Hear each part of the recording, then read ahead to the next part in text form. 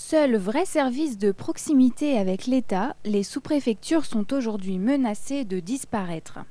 Cette remise en question vient directement du ministre de l'Intérieur.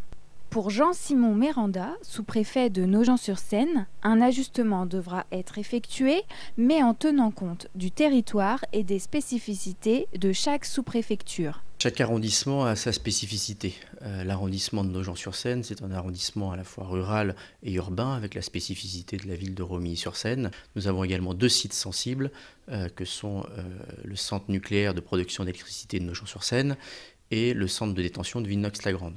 Donc ça fait partie des spécificités de l'arrondissement. D'autres arrondissements, notamment hors du département, ont leur spécificité, soit parce ce sont des arrondissements frontaliers, montagnards, urbains ou suburbains. Donc à chaque arrondissement sa spécificité.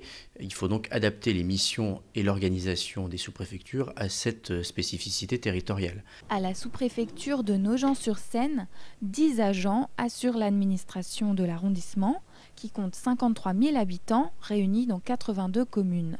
Si le territoire couvert est différent, les missions d'une sous-préfecture sont les mêmes que celles d'une préfecture. Euh, nous assurons euh, d'abord euh, l'ordre public, c'est notre mission prioritaire, notamment la délivrance de certains titres, notamment en matière de, CNI, carte nationale d'identité, de, de, passeport. Nous participons également au développement économique et territorial en venant notamment en appui des collectivités et des entreprises de l'arrondissement. Une autre mission euh, nous a été confiée dernièrement, euh, une mission en termes d'emploi, qui est également une priorité du gouvernement. La sous-préfecture de Nogent-sur-Seine est ouverte 5 jours sur 7.